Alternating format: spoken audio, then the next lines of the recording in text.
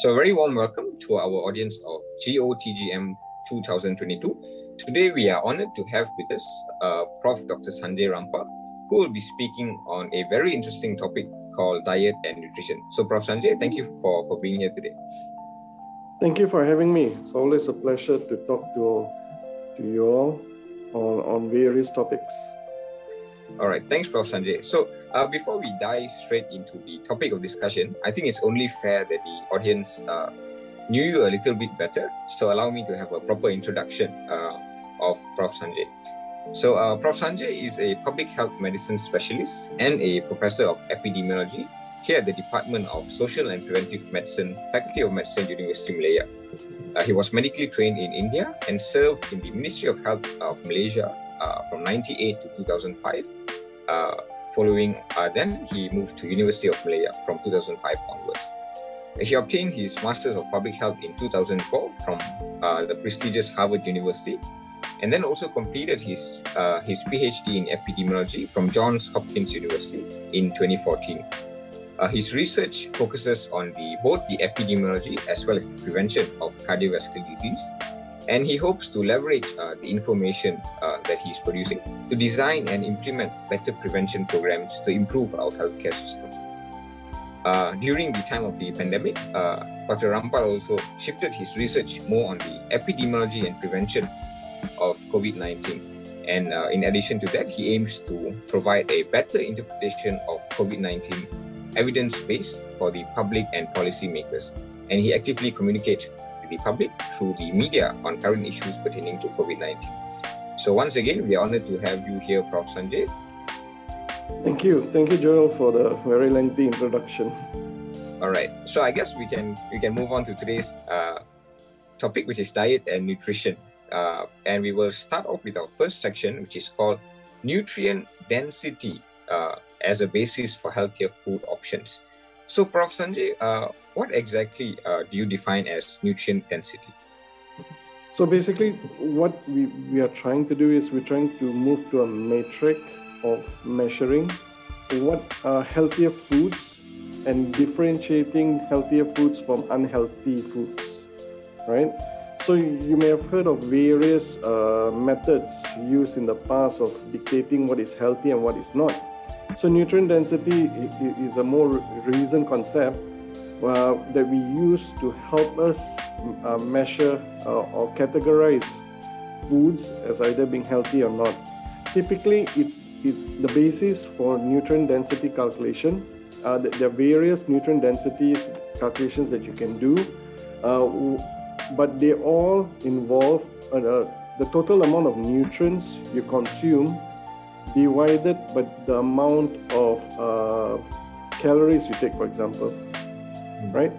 So w- w- then the idea is to apportion, right? That in a food uh, that that weighs so much, how many how much nutrients are there as a proportion of that amount. So I think that's why it's important. And typically, uh, so the, as I said, there are many metrics. So sometimes we use calories per, per 100 grams of food uh, sometimes we use micronutrients or macronutrients such as protein. So if you're interested in the effect of a high protein diet, for example, you could look at the amount of proteins you consume in a certain amount of food measured as uh, weight. That means grams or kilograms, not kilograms, but grams are typically. All right, thanks, thanks, Prof. Sanjay. So, uh, would you say uh, nutrient density is, is how we can use to define healthy food? And and is healthy food only based on nutrient density, or are there other factors that come into play when we define what is healthy food? I, th- I think that's a very important question, right? So I think nutrient density is just a metric we can use. We can use uh, we can use it to actually uh, we can also assess diets. Remember, remember that when we talk about nutrition, that there are many levels of nutrition that we can we, we can discuss because typically a person eats a food, a food group, right? A type of food, and a collection of foods that a person consumes becomes a diet, right? So you have food, uh, food items that you eat regularly. Then you have a, com- a combination of foods prepared in a certain way that becomes a diet pattern, and in addition to food items and diet patterns, we can also go down uh, really deep and look at nutrient levels, right? A certain nutrient compared with other nutrients. So if, if you remember, you might not remember. so you, you all are younger, a bit younger, but if, if you go back to the 90s, right, early 90s, uh, they used to say cholesterol was bad, right? And it was because cholesterol is a nutrient, right?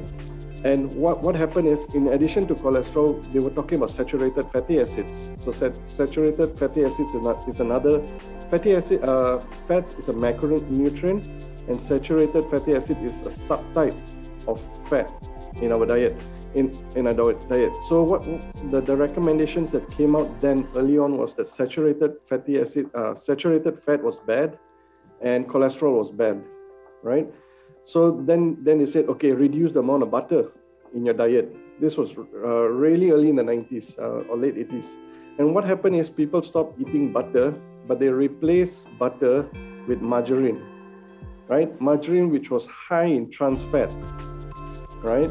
And so at, at that point of time, uh, a couple of years later, they analyzed the data and they said, wait a minute, they even did a very big randomized controlled trial replacing fat intake with carbohydrate intake. And what they found from, from the large uh, trial was contradictory to, to their predisposing assumptions. What they found was that uh, this the, the, group that was randomized to carbohydrates were actually doing poorer than the group uh, that, that was having their normal diets, right? So then they said, wait a minute, maybe we're measuring the wrong item here, right? So it's not a matter of, of fat, it's not a matter of carbohydrate, but it's the type of carbohydrates that you eat. Then they found out that the group that reduced their fat intake actually replaced their flat fat intake with simple processed carbohydrates. And I think that, that, that was a very big uh, discovery and it moved towards the concept of it was not a matter of macronutrient as carbohydrate or fat, but it's the type of carbohydrate you consume and the type of fat you consume. Now, moving on to the carbohydrate uh, uh, analogy, is that when, when, when they look at carbohydrates, and carbohydrates is a very interesting uh, macro, macronutrient, is that all carbohydrates are not made the same. And so that's why this movement now of a, a low carb diet also has its own limitations, right? It's it's not that all carbohydrates are bad, but I think what they found was that simple processed carbohydrates had more had a had a, a more detrimental effect on your health compared with complex carbohydrates, right? Just because of the way it is metabolized and the way glucose is derived from those food items. Now, coming back to nutrient density. So, so that, that, that is where I'm coming from. I'm coming from a point where initially we were talking about categorizing food based on nutrients themselves, right? Then saying, wait a minute, not all food items are the same, right? And if you, if you think back of the pyramid, right, uh, most of you would have been exposed to some sort of food pyramid.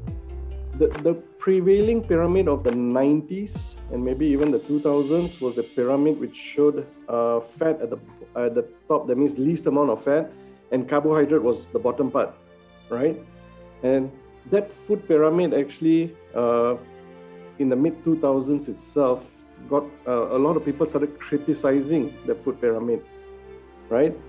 Uh, it was interesting that the, the original food pyramid was actually uh, sponsored by the Department of Agriculture, who, which were also had a. Uh, so the question of independence came up because Department of Agriculture, the, the U.S. Department of Agriculture actually had a, a large say in the wheat production of the world, right? And and this moved on. So so the food pyramid itself became problematic, right? So food pyramid micronutrients became a problem. Then we went into diet patterns, right?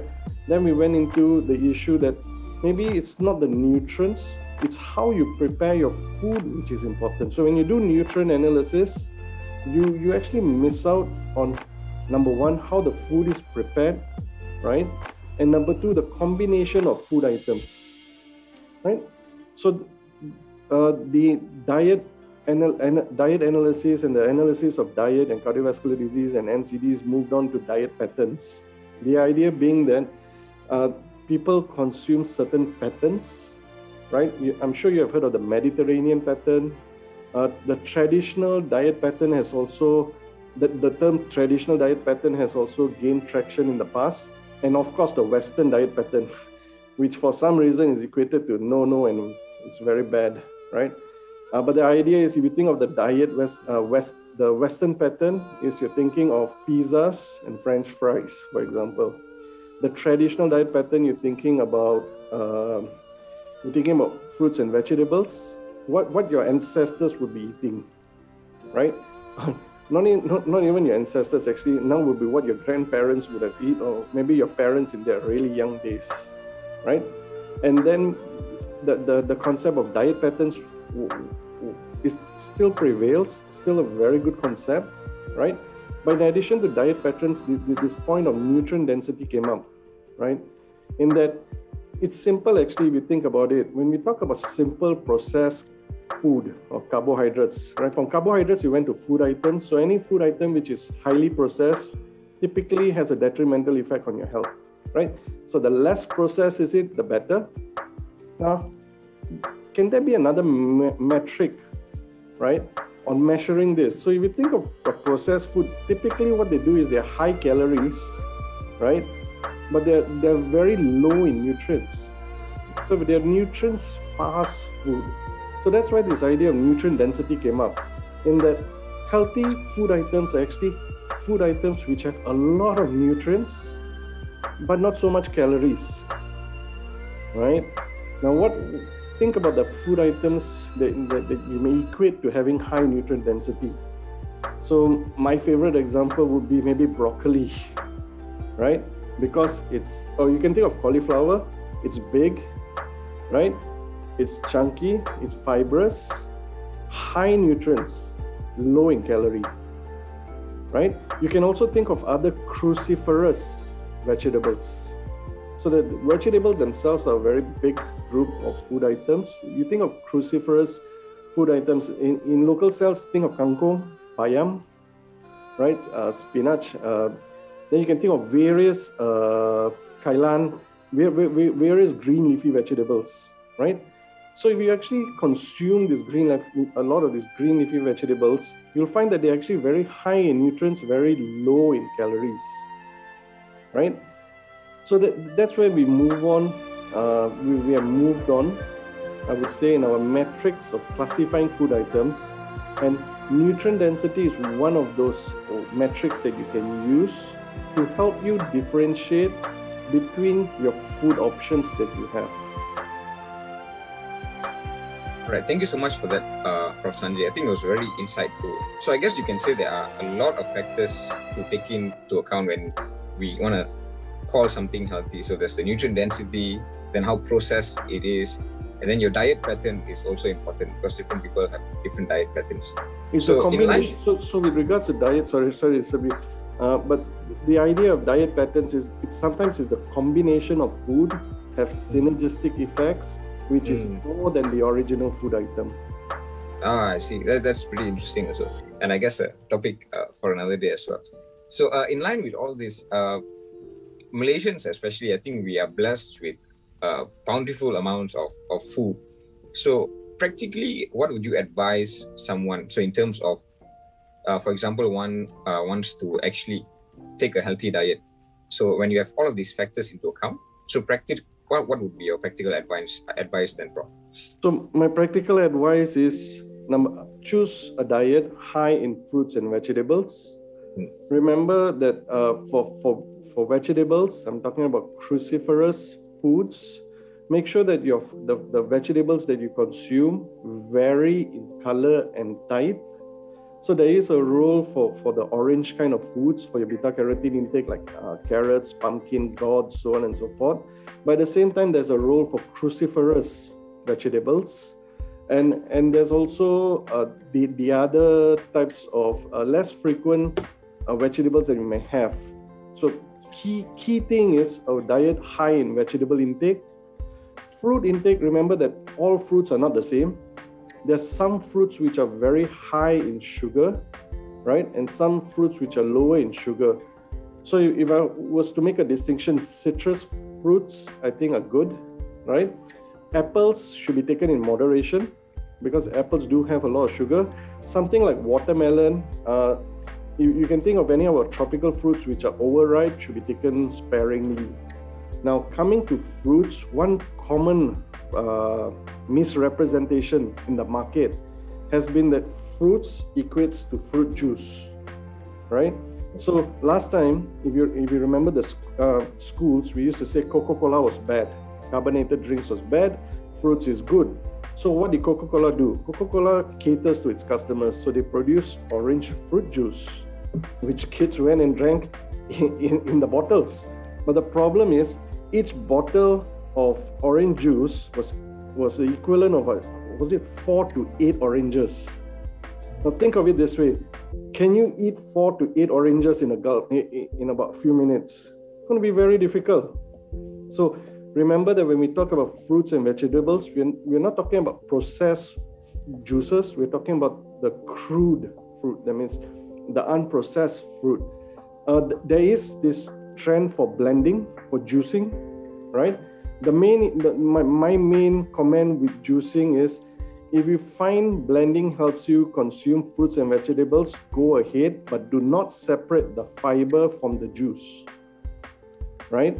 Um, though traditionally they uh, not not traditionally but uh, they found it scientifically that it's always better to eat food and fruits rather than to drink them but if you feel that you have to juice them uh, or blend them uh, remember to consume the whole fruit so for example take a blender put the whole apple in blend it all you want and consume that rather than putting it that there are certain juices which extract the juice from the fiber i think that's that that is not useful thanks, uh, Prof. Sanjay. I think that was some sound advice. Uh, so moving on on the, the topic of healthy food, there's also this thing called uh, organic food uh, as, as an alternative. So, uh, what what would you say defines uh, what is called organic food, and would that be uh, under the the whole umbrella of healthy food as well? I would say organic. The term organic refers to the way a food was planted, right? a food item was prepared. Prepared here means how it was planted, whether pesticides was used, what, where was it, uh, where was the agriculture, what, what was the agricultural practices used in producing that food. Um, initially, we, that there, there was this thought that if you use less pesticides, right, if you grew it in a, in, in a certain way, that the nutrients of that food item would be better, but there are certain problems, right? So just because an item is organic does not mean it has low pesticide. What we have is we have the problem with persistent pesticides in our land. So, for example, uh, just to give you an example, in Maryland, uh, I, I, I use this example quite often, where they had organic farms producing baby food, right? But when, when they actually did the analysis, they, they found pesticides in the food.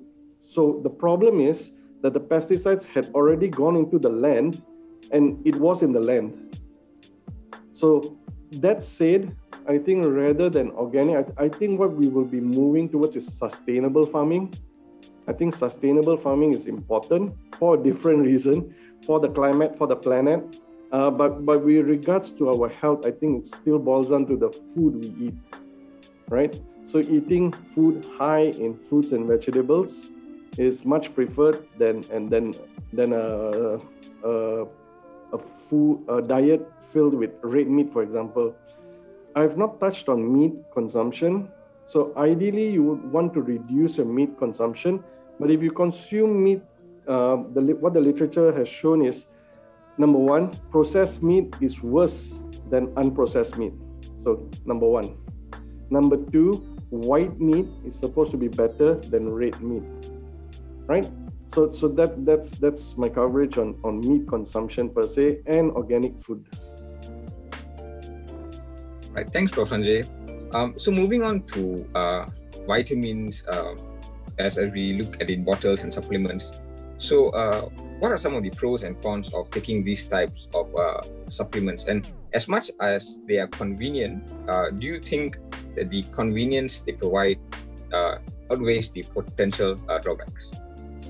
Thank you. Thank you for the question.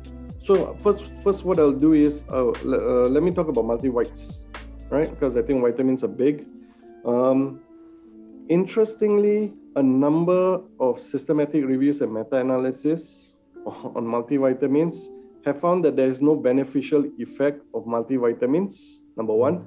Number two, there may be a small uh, increase in risk of mortality among those consuming multivites. But that's a small risk, about 5, 5 to 10%. So, what I would say is there's no evidence of a beneficial effect of multivitamins.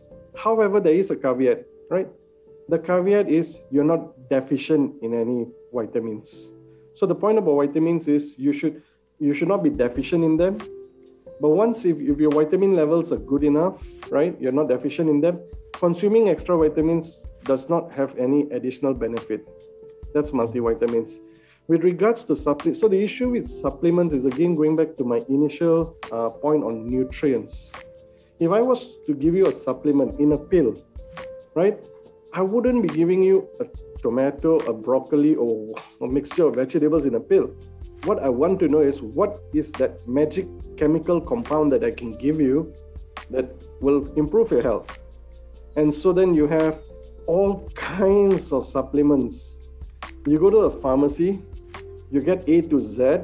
That there was even a vitamin called A to Z, by the way It, he was he was a very famous uh, I think by Centrum. Centrum was one, and there were there were a lot of generics also A to Z vitamin. But coming back to supplements, so the issue with supplements is from from, from the reviews that I have uh, done, the only supplement which may be beneficial. So number one, I I'm saying almost all supplements that, that there's no evidence of uh, great benefit from randomized controlled trials. So typically, you get evidence coming up from observational studies, which show that so and so nutrient is beneficial.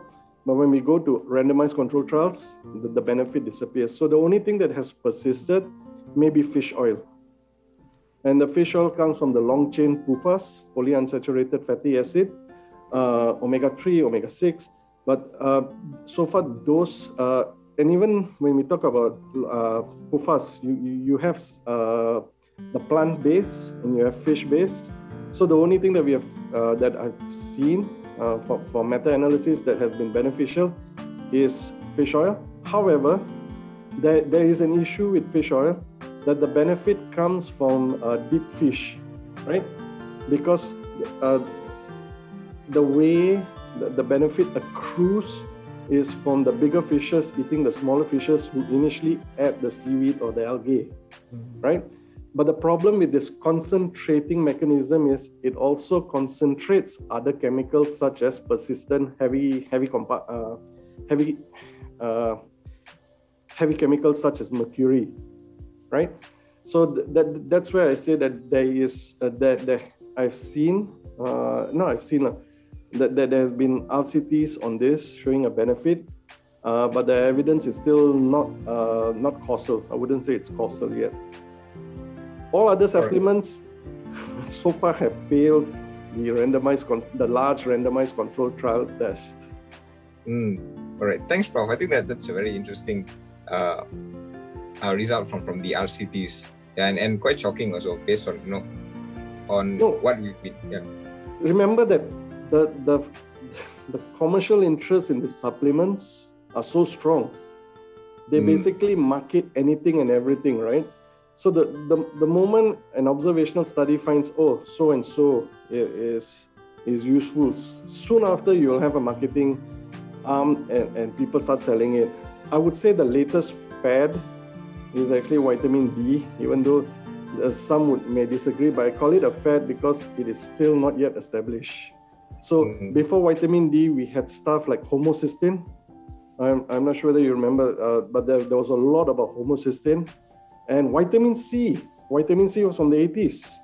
We used to give vitamin C to everybody. And there was a trial done, ATBC trial, which had aimed to, to show definite proof that vitamin C was useful, and they found the opposite to be true. That uh, those with vitamin C, if I'm not mistaken, had a higher risk of lung cancer. Mm. And soon after that, vitamin C got, and there were other trials with vitamin C and let's say URTI. And, and when, when the results of these RCTs come out, then the evidence diminishes. And if in, it's very interesting if you monitor the supplements market, the, the demand, there, there is some evidence, observation evidence, then the demand increases to a point where we say, wait a minute, a lot of people are taking this. Let's do a large randomized control trial.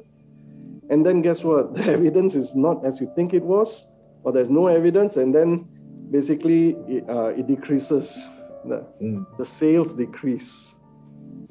All right. Thanks, Prof. That was very, very interesting and nice to hear as well. So uh, I guess now we can move on or transition into the second part of our podcast, uh, where we talk about diet transition and obesity.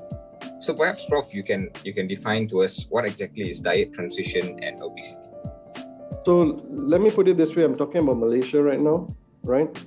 In Malaysia, we have had a transition in our population over the many years, right? If you think of the 70s, 70% were living in rural Malaysia, approximately 30% was living in in urban Malaysia.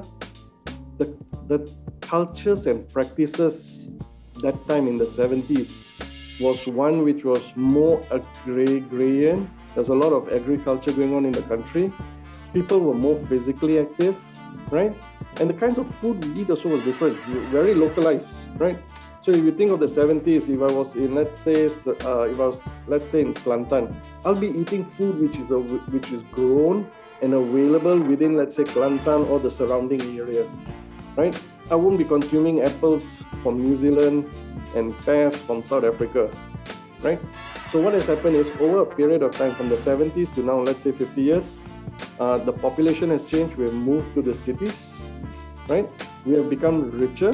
Our world has changed we live in a much more connected world. So my, my point just now that if you were staying in a rural area last time, or even if you're staying in KL for that matter, you were not going to get peaches from South Africa or apricots from Chile, right? You were just going to get whatever was grown in our backyards uh, outside KL, or worst come to worst from Cameron Highlands or from, from surrounding areas.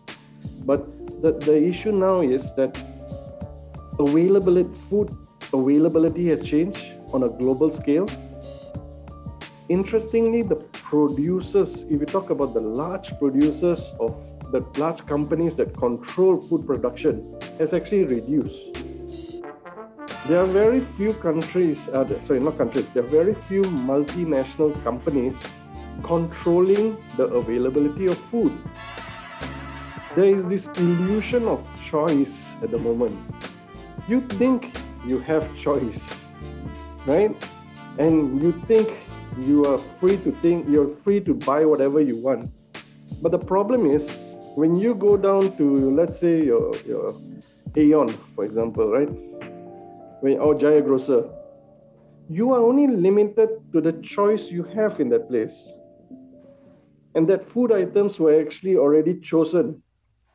And the interesting thing is, I'm, I'm not sure whether you all do, I do this because of I don't know what uh, my interest in the area, but usually when I go around, I look at what food is available, and sometimes I just read the labels, right? Just to see which is healthy and which is not. But the interesting thing is, the food items available in Jaya Grocer and Village Grocer will be different from that available from, let's say, Aeon, right?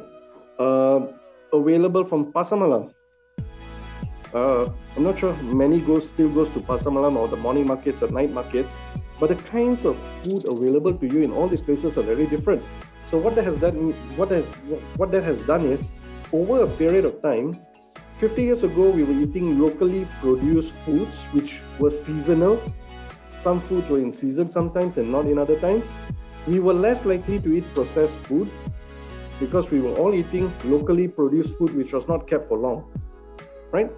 Coming now, where food can be kept for years, right? The apple that you ate was not was not harvested yesterday.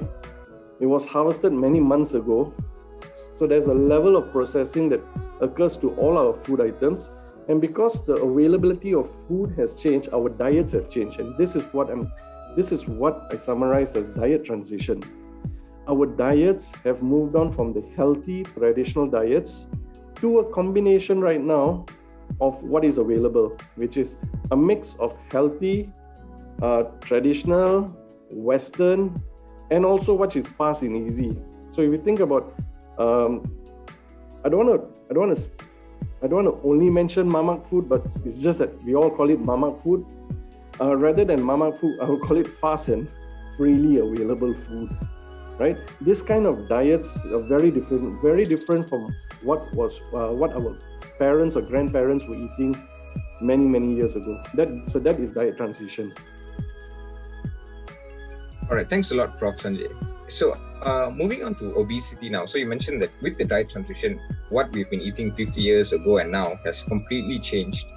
So, uh, perhaps how, how do you define obesity? And, and since you have extensive uh, experience in epidemiology, what is the current prevalence of obesity uh, among Malaysians? So, the, the, the two things how would I define obesity, right? So I would say number one, uh, obesity just states is defined as uh, increase in adiposity. That's a simple definition, right? Adiposity levels higher than normal, right? But uh, that that's that's the most general definition. But if you prefer a better marker or more specific definition, is we typically use BMI, body mass index. I would say that BMI is a marker of general adiposity we also have differentiated adiposity between general adiposity and let's say central adiposity. So central obe- sorry, central obesity. So central obesity, we would use the waist circumference, right? And use a cutoff or, uh, of, of the waist circumference in order to to to classify uh, a person as centrally obese or not centrally obese. Uh, with, with regards to its prevalence, that puts me in a spot, but I would say that it was about, about 20%. Uh, but I'm not private. But what I know is obesity plus overweight forms, I don't know, was it 50%, 40%, 40% or 50% of population. Uh, the issue with obesity is, I think the big issue with obesity is this. There, there had been a drastic change in the prevalence of obesity over the over this past 10 20 years that has been very rapid. So there's been a rapid increase in the prevalence of obesity in the past 20 years. Because if you look at the prevalence of obesity in 90s we had an nhms in 96 right? And the prevalence of obesity was about i don't know 5% right? And we, i was involved with a study in 2004 right and we estimated the obesity as 13%.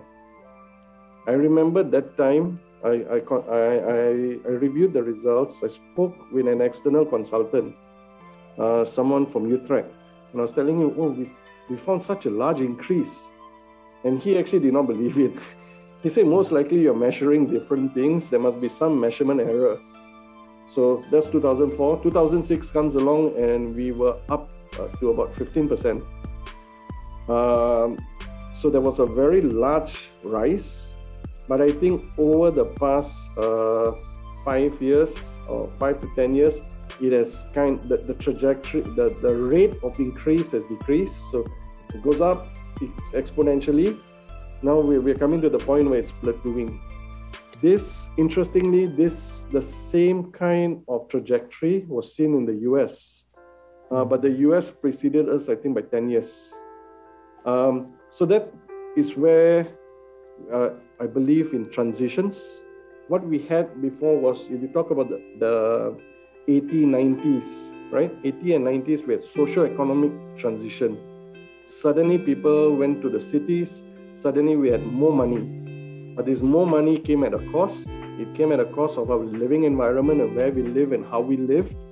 And this effect, it takes some time for the effect to settle in. So it took about, I don't know, about 10 years for it to show up. So you're talking about a rise in obesity in, let's say, 2005. I would say that there will be a, that, that, that's what we, we, we will also be experiencing. We are experiencing is a rapid rise in diabetes. So you can think of changes in upstream markers like BMI. Uh, upstream marker to me is not even BMI, it's food. Our diet changed. Because our diet changed, we became more obese, or higher proportion of our population is uh, has uh, more weight or overweight or obese. And we don't get it immediately, but when this population of overweight and obese lives longer, then the prevalence of diabetes shoots up. And it doesn't stop there because after the prevalence of diabetes shooting up, in another 10 years to 15 years, our rate of uh, renal failure will shoot up, ESRF, and stage renal failure. And that is something I think when we talk about an epidemic of obesity, we don't feel it so much, right? Um, because people are people, people are still moving around. Then, then you see an epidemic of diabetes. Then you say, wait a minute, cost of healthcare will go up, right?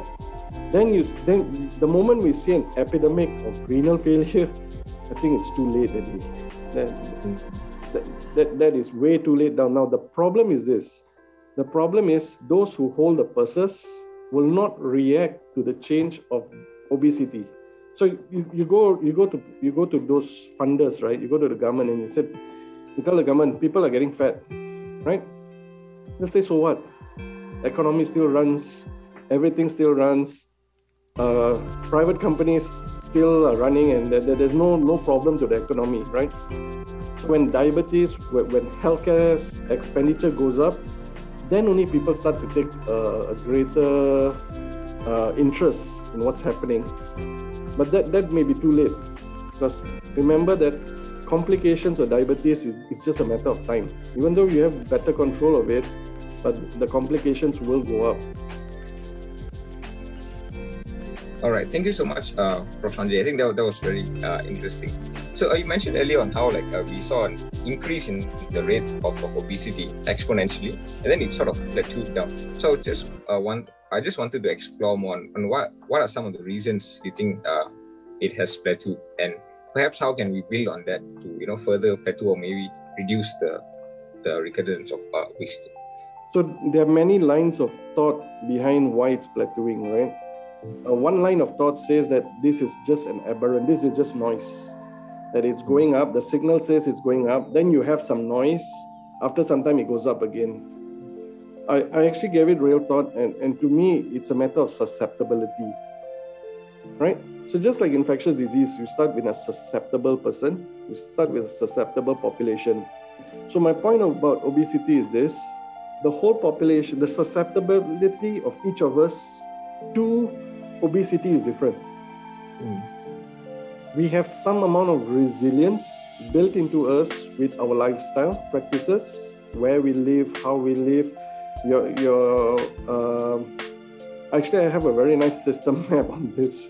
But my point is, when we talk about obesity, okay, uh, let me bring it down, right? Obesity is, is just an imbalance of energy intake think about it this way, right? Imbalance of energy intake. There are more energy going to your body than getting expended. So that's simple. Food that you eat versus exercise. Hmm. It seems easy, right? Do more exercise, eat less food. Problem solved. But wait a minute, we also have this thing called physio- internal physiology going on, uh, our basal metabolic rate, so on and so forth. All right. But then what affects your food? that's where systems come into play food availability food generation and there are many systems and policies in play that makes you actually eat a certain kind of food more and less of the other at the same time where you live right uh, may influence your physical activity mm. now coming back to, to the point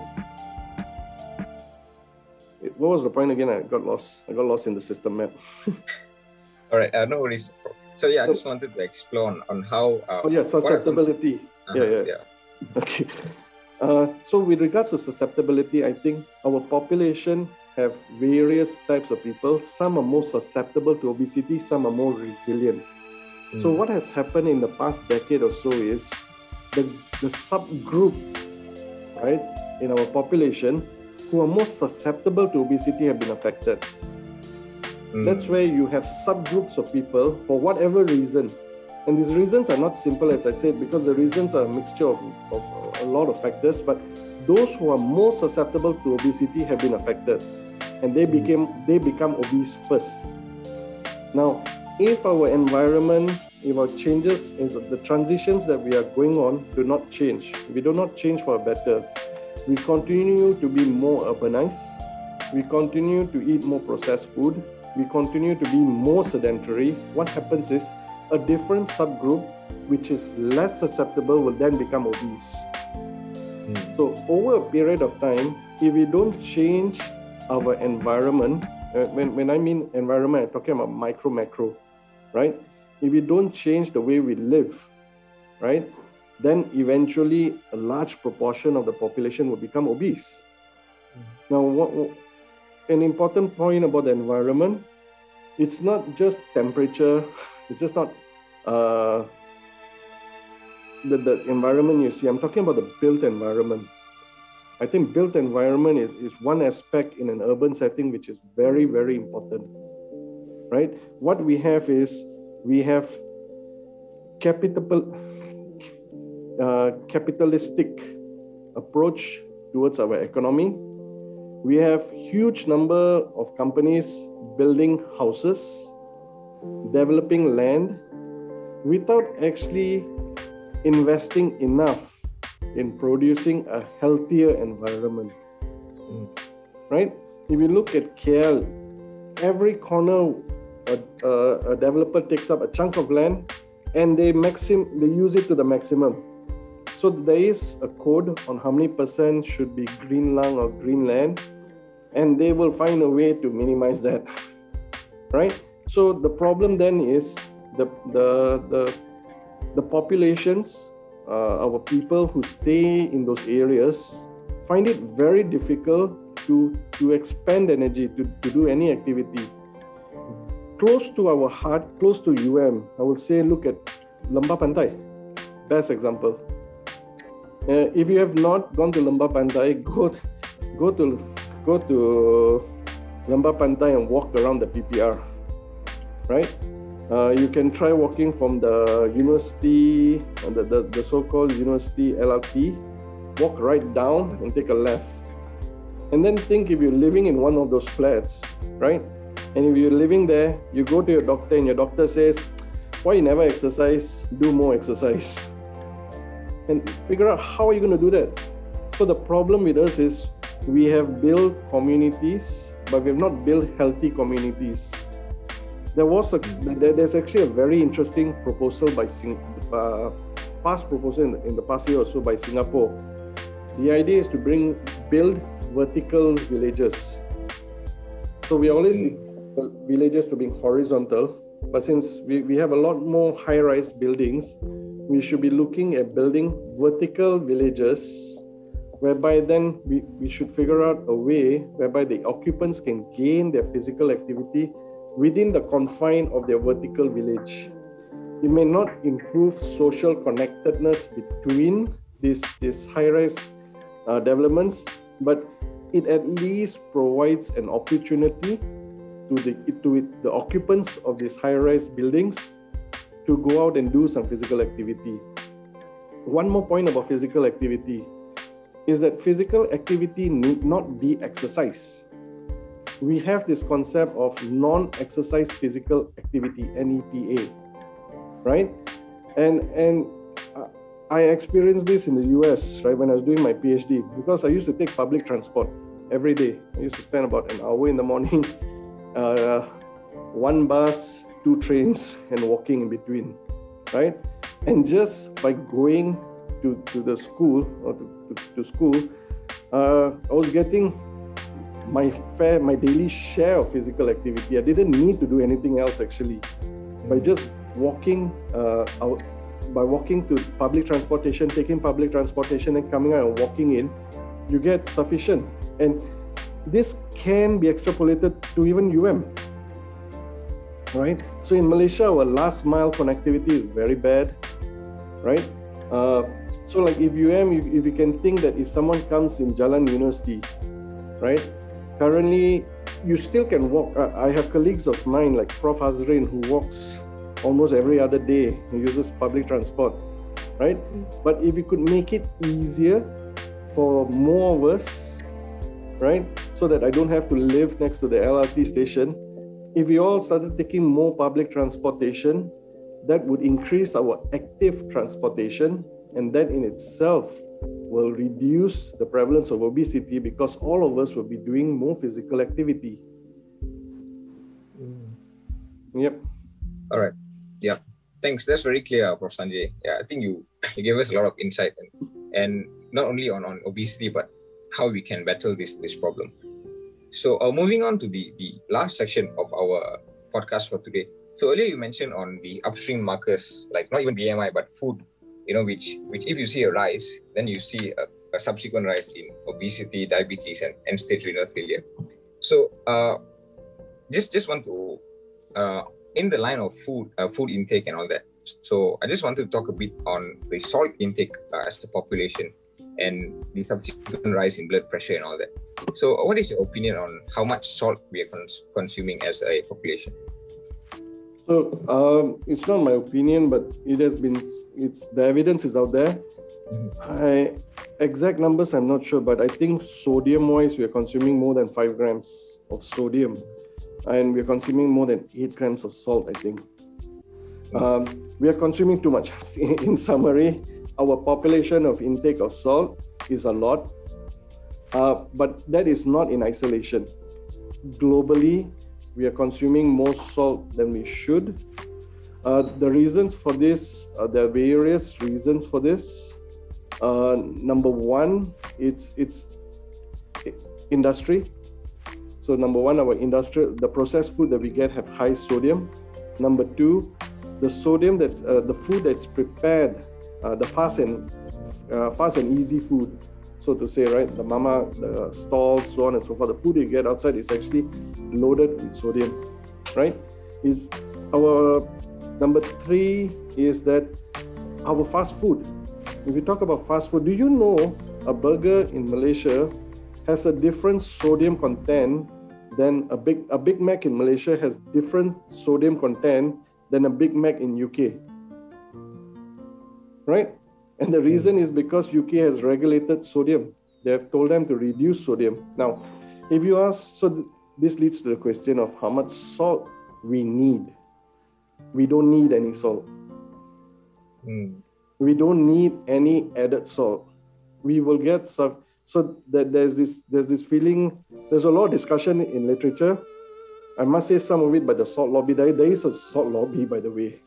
They are as strong as the tobacco lobby, as strong as the I don't know the olive oil lobby, so on and soya lobby, so on and so forth. But there is a salt lobby. Uh, the salt lobby would, would, would counter that we need salt in our diet, mm. right? And they would give uh, they would give an example of the sub-Saharan. Uh, forgot what was the tribe name, but in sub-Saharan Africa, you have this tribe who will travel about half a day to the salt deserts to lick salt because they don't have salt. Okay, so this is by the salt lobby. On on on on the other side, you have a lot of uh, you have a lot of evidence that we get enough sodium from the foods we consume. You don't need any added salt. Number one, you don't need any added salt. Number two, the salt that we have in our food items can be drastically reduced. And there is very strong evidence that you can reduce 10% of your salt every one to two years without any change in taste. So when I said that the Big Mac in UK is different, so that's what I meant. So what they did was, at a population level, they decided to reduce the salt in all their food, and they found that people didn't notice. So first year you reduce by 10%. And I think it was uh, they did a review after three or four years, and they reduced it further. And you can reduce your salt consumption every couple of years, and you would find that there's no no difference in taste. That's one gradual way that we can do at the population level. The benefits are tremendous. The benefit is you will get a change in uh, blood pressure levels at the population level. the prevalence of hypertension will go down. Right? Now, salt that I, I could spend a whole session on salt. So, yeah, but salt has a lot of detrimental effects by itself. I'll keep it with that. okay, thanks a lot Prof. Sanjay. So I guess we we are uh, reaching the end of our podcast. So as a closer, uh, perhaps we we just like to know what are your aspirations and vision uh, for how you see nutrition um, in the future. So I see us move as, as we move along. Number one is we have to address food sustainability. We have to incorporate more sustainable practices in the production of food and the availability of food. Uh, that there is this feeling that we should go local we should see what's available locally and we should eat what is available locally, even though there's a seasonal effect to it, right? Number two, we should decrease process uh, consumption of processed food. It's convenient, fast, easy, but it's it's actually not healthy, right? Uh, that's how I see it. And number three is as we move along, along the lines of sustainability, plant-based diet has been shown to be better for the planet compared with meat consumption just because we spend a lot of carbon emission in number one producing that meat and number two in consuming that meat. So the way i see if you ask me how i see it forward uh, and our population has been resistant to change but very interestingly in the past five years i've seen a lot of changes in our population.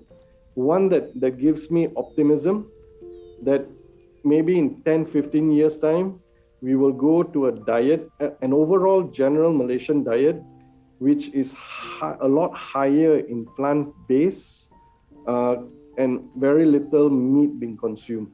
Mm-hmm. Thanks, Prof. Sanjay. So uh, before we end, uh, since most of our audiences here are will be future doctors, uh, so perhaps you you'd like to offer some last words of advice. With regards to uh, to absolutely study hard or sleep more or don't smoke or what kind of advice would you want? I think just a general advice from from perhaps our uh, discussion today. From our discussion today. Mm-hmm. Okay, so I, I think a few key points. Number one is you all are young. There are many many years ahead. Think about the planet. Right, we have to be seriously thinking about the sustainability of the planet for when you grow old. So I'm already old right? But you, you many of you have a good 50, 60 years ahead, and you would want the planet to be healthy when you grow old, number one. Number two, if you talk about health, there's this movement to a 100 year old age, right? That for you, compared to me, you should have an expectation that you will be living to an 100 right because there are a lot of advances going on right now at many different levels trying to uh, hack our biology in order for us to live that 100 years as an average. So that's number two. You should be aiming to live to 100. Uh, number three, adopt healthier lifestyle practices. I wouldn't say the best because all of us have our own limitations. If possible, adopt as healthy a lifestyle as you can. Watch your mental health. Be mindful. I think I've covered a lot of things so far. all right. Yeah thank you so much, Prof. Sanjay. So that was some wholesome advice uh, and very beneficial for all of us. So once again, I'd like to thank you not only for your time, but for the very beneficial insights that you've, you've provided uh, throughout this whole time. So thank you so much for your time, Prof. Thank you, Joel, for having me. It's always a pleasure to talk to the younger ones, and hopefully, you've gained something today.